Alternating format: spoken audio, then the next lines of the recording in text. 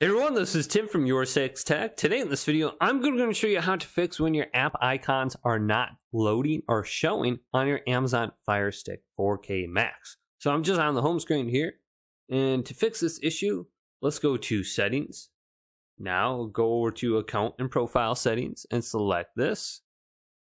Then let's go down to where it says Sync Amazon Content. And synchronize your purchase Amazon content. Let's select this and now we want to go back to the home screen. Then the application icons should now appearing on the apps. So if this quick little video did indeed help you guys out, leave it a big thumbs up and subscribe my channel down below for more tech up videos coming up next on Your Six Tech.